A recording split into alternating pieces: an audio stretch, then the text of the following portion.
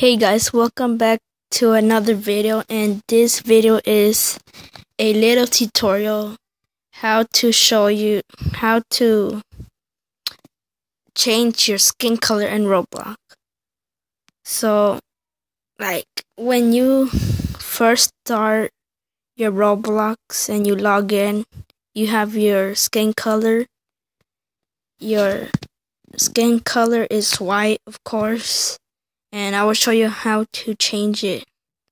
So, the thing is, you need to go to more, go to help, and then it will, and then you'll go here that says billing, community, account, and security. So here's the search thing, and you search up style.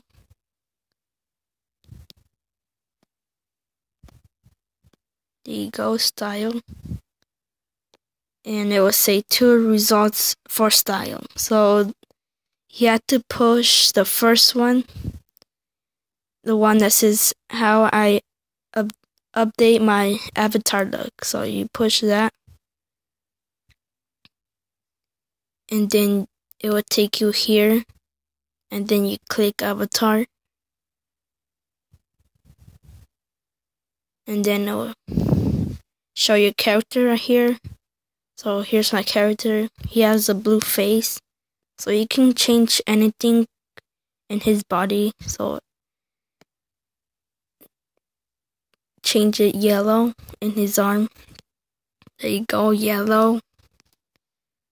And then change this red. So this is like simple. There you go and it like you can change your weight and stuffs here. And it it doesn't work I don't think so.